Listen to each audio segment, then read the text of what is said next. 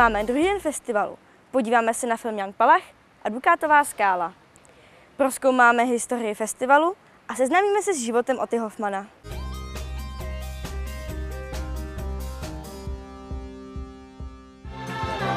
Pan Tau, Chobotnice z druhého patra a Lucie Postach ulice. To jsou filmy, pod kterými se podepsal Ota Hoffman. Na festivalu se promítal dokument o jeho životě a tvorbě. Natočil ho režisér Karel Smiček. To, čím Ota Hoffman ohromil, eh, nejenom u nás, ale především v Evropě taky, tak to byla jeho bezbřehá fantazie, eh, vztah k dětem a velký pochopení pro problémy dětí. Já na něj vzpomínám jako na takového velkého kluka a vždycky nezapomenu, že on když podával ruku, tak ta jeho dlan byla taková hebká, jako jeho duše.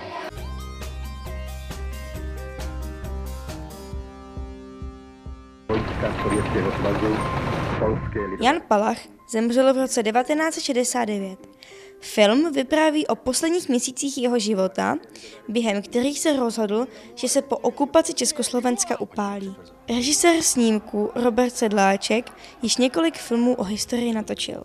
To, že jsem točil na Palacha, tak to navazuje na to, že jsem do té doby natočil pro televizi dost historických projektů, to bylo České století a Bohéma. Takže ten Palach je vlastně jakýmsi logickým vyústěním. Jak a kdy jste vybíral rekvizity a herce, aby odpovídali realitě?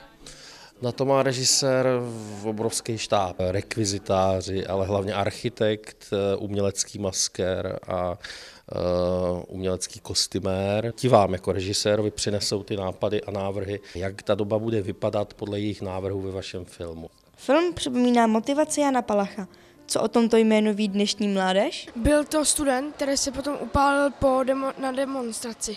Vlastně mu se nelíbilo, jako ty, jak to bylo v Čechách a takhle, tak se jako podpálil. Aktivista, kterýmu se nelíbilo, co se dělo u nás? Byl to hrdina, víte, udělal čin. E, většina lidí o činech jen mluví, nebo ještě hůře hodnotí činy druhých, sami žádného nejsou schopni.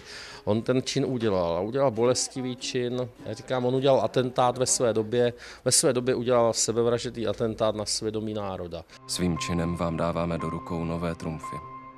Doufáme, že jich využijete náležitým způsobem. Ve filmu Dukatová skála uvěznila černá paní skupinu dětí na Starém hradě. Jejich rodiče a dospělí přátelé se snaží děti zachránit. Všichni prožijí napínavé dobrodružství plné čar a kouzel, které celou vesnici stmelí.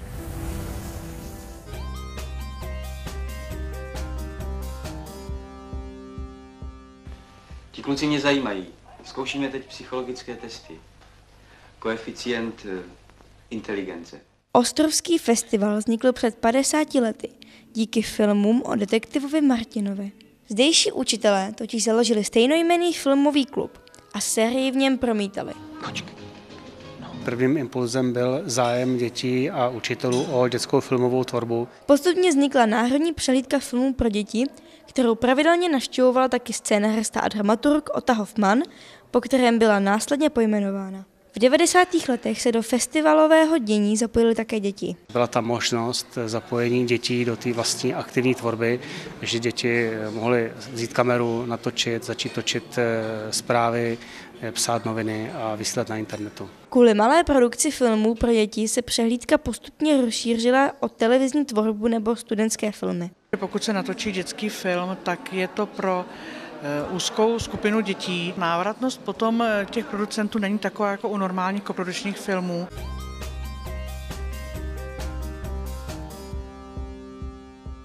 Pro dnešní den je to vše. Zítra se můžeme těšit na pohádku Nejlepší přítel a vánoční film Přání k mání, nebo na seminář o reklam.